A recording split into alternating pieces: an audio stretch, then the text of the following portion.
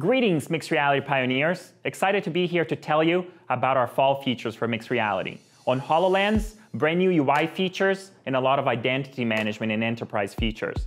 In virtual reality, I'm really excited about our new flashlight feature, which allows you to see the real world through virtual reality. New headsets are available for Windows Mixed Reality, and if you have a chance, download Microsoft Maquette, which is a beta experience in our Microsoft Store. Give us your feedback, and I hope to hear from you soon. Thank you. Our latest update now adds HoloLens support for the Japanese and Chinese languages. 北京天气 New HoloLens Enterprise features have been added, including better Intune management of holographic devices and the ability to apply provisioning packages at any time.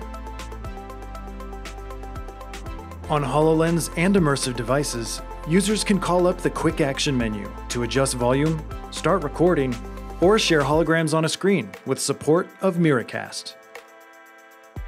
Developers can now integrate mixed reality capture directly into their mixed reality apps. New APIs let the user capture a video or photo and then integrate it directly into the app's experience. Also, the flashlight feature lets you take advantage of our sensors to see the real world from within your virtual world. After installing the update, be sure to download and try the Maquette beta. Whether developing for AR or VR, Maquette will let you quickly prototype and try out your mixed reality UI and spatial concepts in an immersive headset. We hope you enjoy all the new features as our mixed reality platform continues to grow and evolve.